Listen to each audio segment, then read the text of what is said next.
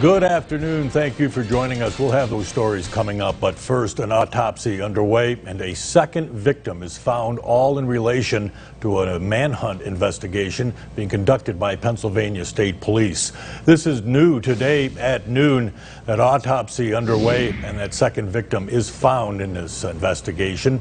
Chelsea Withers joins us now live in the newsroom with the uh, breakdown of what we've learned so far. Hello, Chelsea. Good afternoon, Dave. Right now, state police have released the names of both of those victims. And this investigation all began due to a traffic investigation that led to a 22-hour manhunt that crossed multiple county lines. 25-year-old Cody Potthoff is accused of murdering 66-year-old John Burke and 41-year-old Ann Weldon.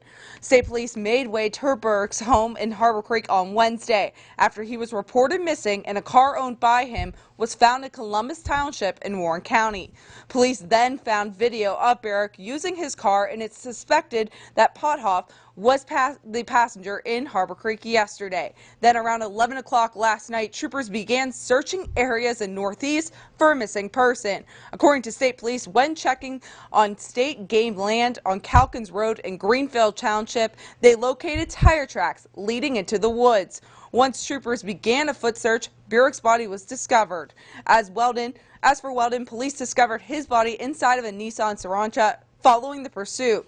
Now, Potthoff has also has an arrest warrant out for him in the city of Erie after he reportedly shot a man in the abdomen last week. And Dave, as you said, we are learning right now that the coroner's office has began the autopsy on that first victim and we're still learning more about this case and we're expected to give you much more information about it including those autopsy results starting tonight at 5 and again this man is also wanted in the city of Erie for attempted homicide for all of this as well. Oh, all right, Chelsea, we know you'll stay on top of that story.